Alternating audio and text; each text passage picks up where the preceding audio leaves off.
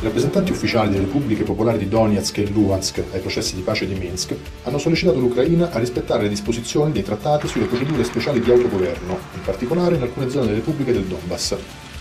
Le autorità hanno chiesto che Kiev riprenda regolari relazioni economiche con le regioni, mentre il regime centrale invece richiede che le repubbliche proclamatesi indipendenti accettino la sottomissione al governo centrale.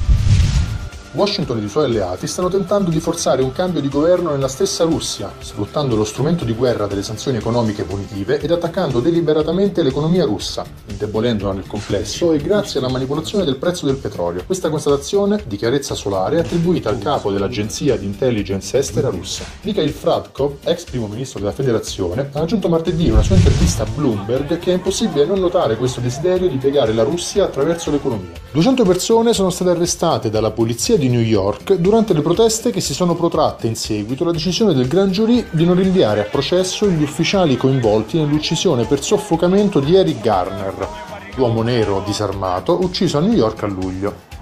Il canale ABC News ha citato fonti interne alle forze di polizia, le quali riferiscono che molti degli arresti sono stati eseguiti poiché i manifestanti hanno rifiutato di sciogliere la protesta e sgomberare le strade. Le dimostrazioni si sono tenute nel centro di Manhattan. La parola d'ordine è stata non c'è pace senza giustizia.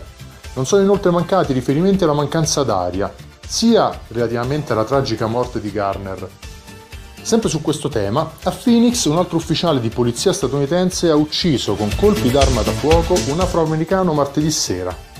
Le autorità cittadine hanno detto che il poliziotto ha sparato perché convinto che la vittima stesse impugnando una pistola, pistola che si è poi rivelata essere nient'altro che un tubetto di medicine.